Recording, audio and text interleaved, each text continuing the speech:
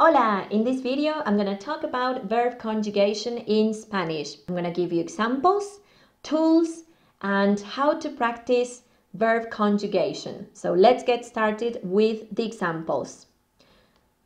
Remember that in Spanish we have regular verbs, as in trabajar, to work. So some examples are trabajo, trabajé, trabajaré, trabaje, trabajaría. So these are some examples of different tenses and different modes of the verb trabajar.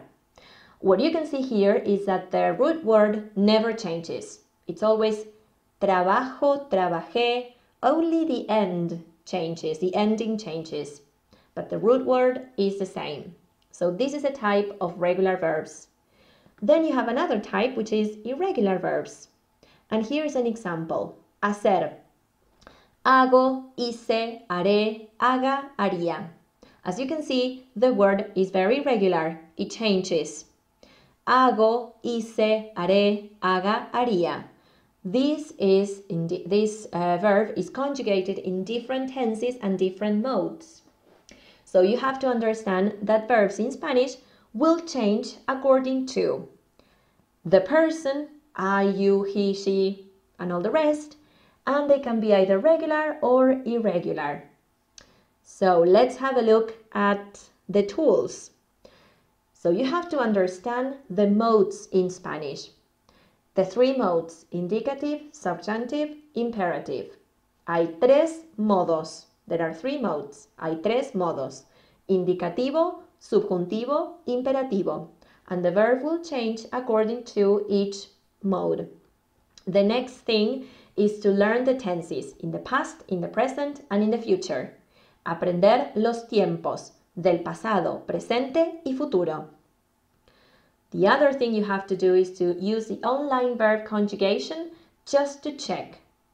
Okay, so first try to come up with the verb form and then use the online verb conjugation to check. I'm going to leave a few links below the video.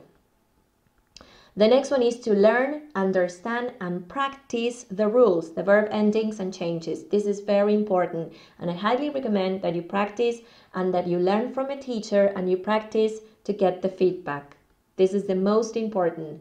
Write real examples. Escribe ejemplos reales.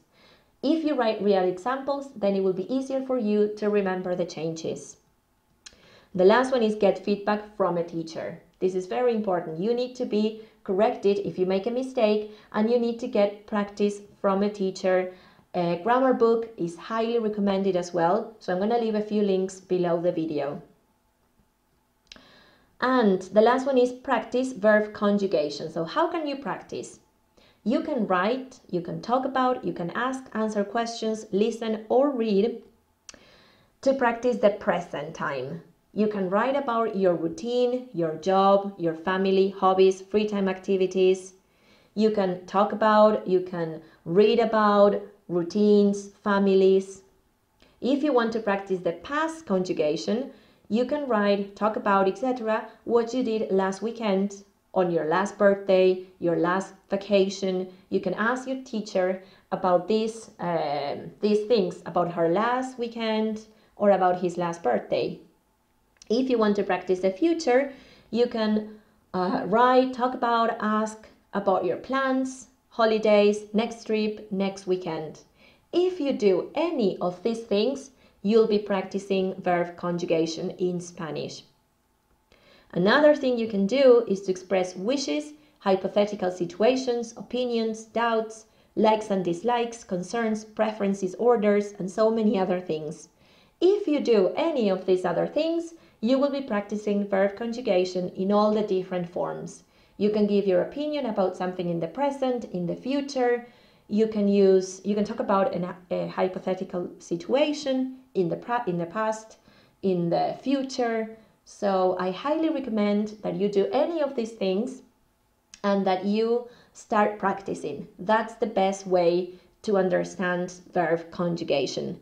If you like this video, please comment below and don't forget to subscribe to my channel for more learning updates. See you in the next video. Ciao, nos vemos.